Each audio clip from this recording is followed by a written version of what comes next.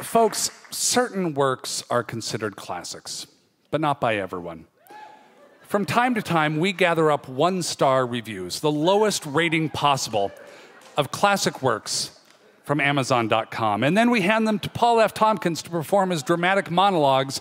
All the material is taken from the Amazon website. This is Amazon Review Theater.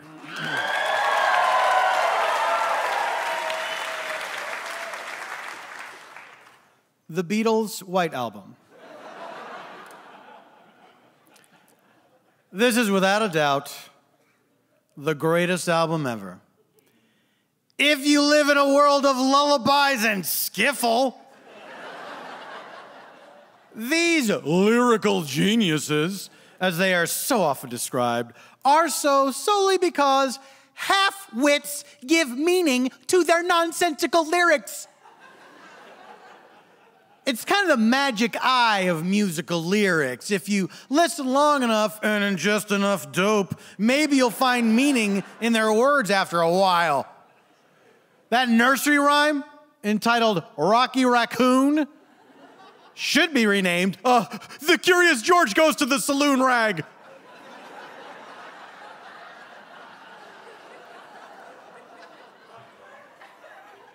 But if ever notice, Beatles fans are the same sheep that make it necessary for fast food joints to offer value meals.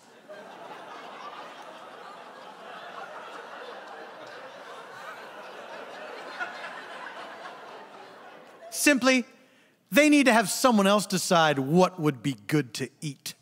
Well, I say this. Here's another pellet for you if you're crazy enough to buy it, but we already know you will.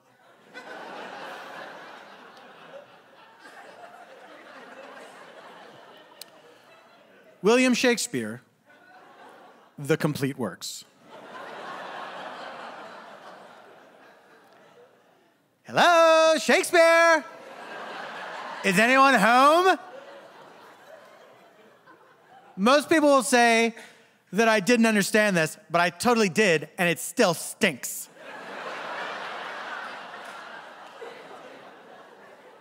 it cannot equal the feeling I got from reading about Frodo and Sam climbing Mount Doom.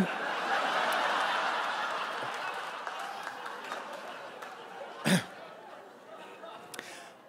the fight scenes were totally unrealistic. I'm into suspending disbelief and all, but Hamlet? Hello? like a ghost living? Give me Mount Doom any day.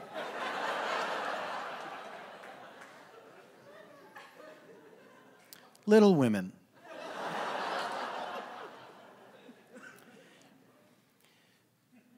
to make it better please make it shorter.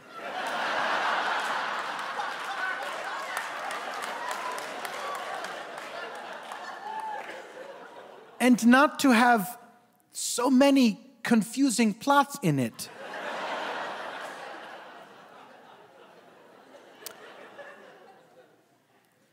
but it was still a little bit good. Paul F. Tompkins, everybody.